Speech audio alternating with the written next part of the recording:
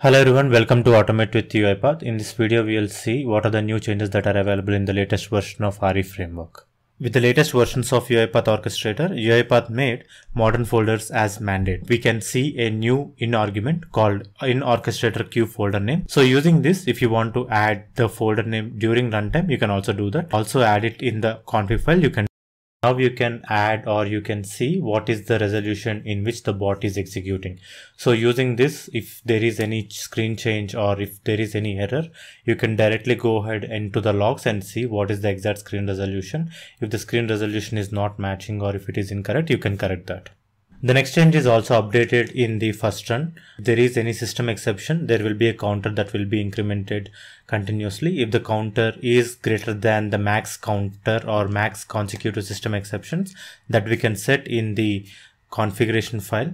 If that matches, then it will directly stop the job and will throw as a job failure rather than continuously executing uh, it with system exceptions for all the transactions. The next change is with respect to the project folder structure and uh, here we are seeing process.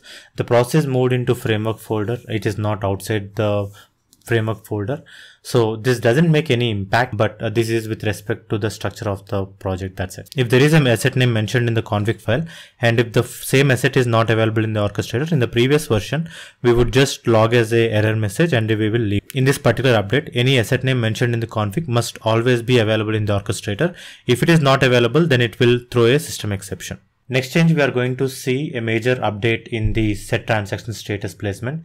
Earlier, we have it in the finally state of the try catch block. Now it is moved into the try block as well as in the two catch blocks that is business rule exception and the system exception. Process completed, it will update it in the try block itself. If there is any exception in the try block, and if it is a business or system exception then it will be handled by the respective exception blocks there is system exception and if there is a screenshot that's taken in this update, we will be able to store those screenshots and add those details in the transaction status. This will be helpful if there is any exception screenshot taken. With this update, we will be able to directly navigate to that particular image where the system exception is captured. Tell me what is your favorite change in the comments of this